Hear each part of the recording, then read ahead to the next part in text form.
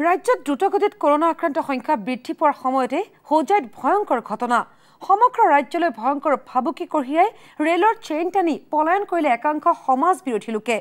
মুম্বাইৰ পৰা অহা শ্ৰমিক এক্সপ্ৰেছ চেইন টানি ৰেল ৰখাই পলায়ন কৰে বহু যাত্ৰীয়ে।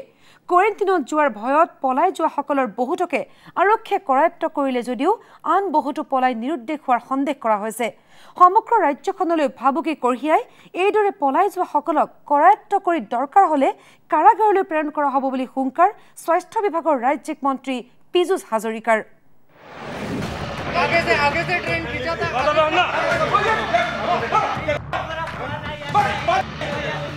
ৰাজ্যৰ ভিতৰতে কৰোণা আক্ৰান্তৰ ক্ষেত্ৰত শীৰ্ষস্থানত থকা হোজাই জিলাত নিশা সংঘটিত হ'ল ভয়ংকৰ ঘটনা। পইচা ঘৰত গ'লে গাঁৱৰ মানুহে বিল জমা কৰি দিয়ে।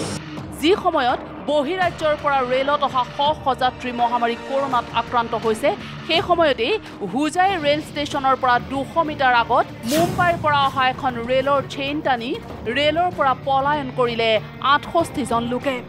সময় নিশা এক বাজি পাঁচপন্ন মিনিট।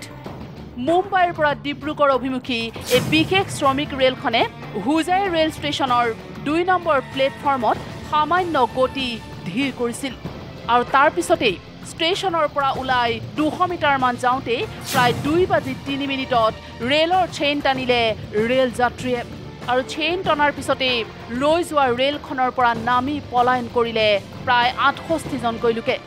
নিশা বোম্বেৰ পৰা এখন যাত্ৰীবাহী ৰেল ডিব্ৰুগড়লৈ গৈছিল আৰু বিশেষকৈ হোজাই ৰেল ষ্টেচনত সেই যাত্ৰীবাহী ৰেলখন চেম্পুলিং কৰা হৈছিল আৰু তাৰ পৰিপ্ৰেক্ষিতত চেম্পুলিং কৰি ইয়াত পাঁচপন্নজনকৈ ব্যক্তি ইতিমধ্যে ইয়াত নামিছিলে আৰু প্ৰত্যেকজন হোজাই জিলাৰ লগে লগে হোৱা দোৱা লাগিল। ৰেলৰ চেইন টনাৰ লগে লগেই বাজি উঠে এটা বিশেষ হুইছেল আৰু তেতিয়াই হোজাই ষ্টেচনত কৰ্মৰত ৰেল আৰক্ষীয়ে ততাতৈয়াকৈ গৈ ৰেলখনৰ পৰা নামি পলায়ন কৰা পাঁচপন্নজন লোকক পুনৰ কৰায়ত্ব কৰে।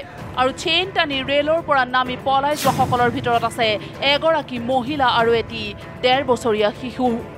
এতিয়া আমাৰ মুম্বাইৰ পৰা এখন ট্ৰেইন আহি আছিলে লামডিং হৈ ডিব্ৰুগড় যাব।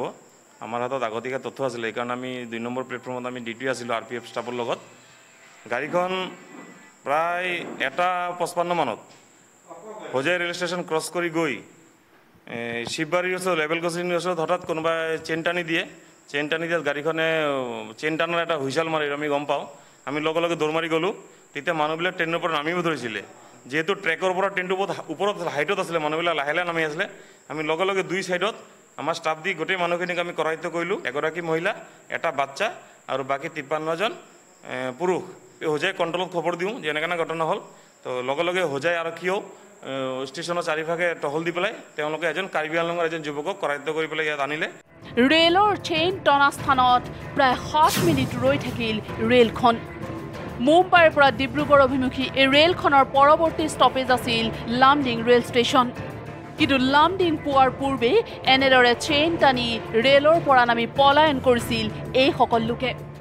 এইটো আগফালে কোনোবা টানিছে ছাৰ দেখাই নাই। মই কেলে টানি নামডিং নামিলে এতিয়া গড় পালে হয় ডবকা পালে হয় ক'ত গ'লে একদম পিছৰ ডাব্বাত আছিলে।